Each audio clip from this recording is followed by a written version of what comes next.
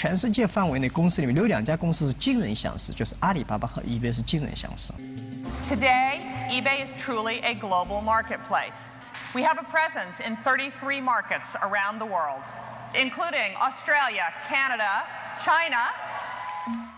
同样是2003年的上半年，正式进军中国市场的国际电商巨头 eBay，，筹划收购当时中国最大的在线拍卖网站易趣网三分之一的股份，信心满满的进军中国市场。此前，马云创办的阿里巴巴主要在企业和企业之间建立交易联系。易贝进军中国的消息让马云十分警觉，他找来几个阿里员工，秘密研发一种和易贝类似的，也就是买卖双方都是个人的网站。这个网站就是今天人们熟知的淘宝网。五月十号是说好要，又是十号那一天，我们总共七八个人要凑产品，卖的产品是每个人必须在家里找出四件产品。我是翻箱倒柜，我们家没东西呀啊！总共找了二十八件东西，凑了出大概三十件，然后你买我的，我买你的，就这么搞起来。淘宝的上线，这时候显然丝毫没有引起易贝的注意。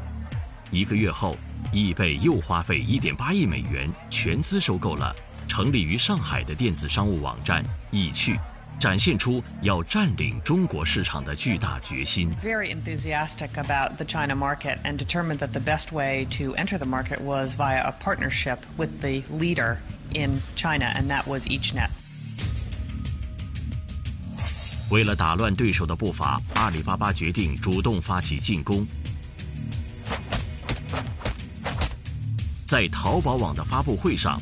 马云宣布淘宝网免费三年的政策，和易贝易趣的收费模式叫板。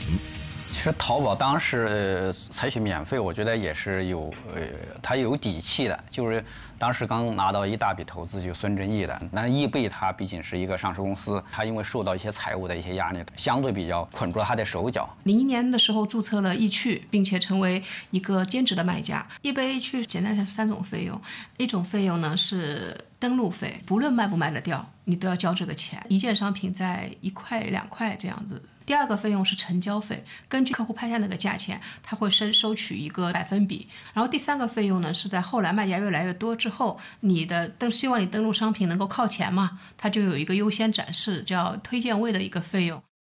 相比易贝易趣网收费的模式，免费注册和交易的淘宝网更符合中国人的消费心理。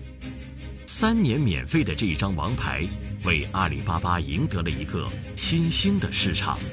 我注册淘宝网是因为有好多个，不止一个我的老客户来跟我说：“哎，你为什么不去淘宝网开店？那个上面没有交易费用，没有登录商品，也没有费用。”所以我就抱着试一试的心情去注册了一下。免费是一个手段而已，但真正你必须创造出比收费更好的服务，比收费创造更好的价值，你才有机会赢的。